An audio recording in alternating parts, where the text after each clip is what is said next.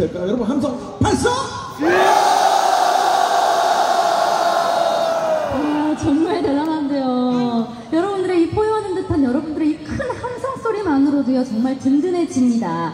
함성뿐만이 아니라고 해요. 단결력이 정말 대단해서요. 그럼. 파도타기 장관이라고 하는데요. 이거 장관입니다. 제가 예전에 한번 경험을 어, 되짚어 보면요. 이게 네. 정말 멋있었는데 오. 제가 바닥타기 한번 하면은 저쪽부터 이렇게 해서 쭉 타고 와서 이쪽까지 갔다가 다시 한번 이쪽으로 쭉 가는 걸로 한번 여러분 보여주셨으면 너무나 좋을 것 같아요. 자, 여러분 준비됐습니까? 예! 자, 해볼 때. 자, 여러분, 버터기 시